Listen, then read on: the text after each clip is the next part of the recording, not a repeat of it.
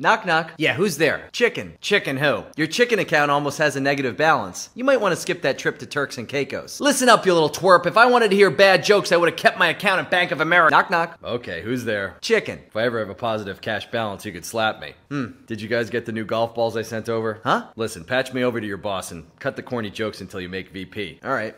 Oh, Mr. Crown.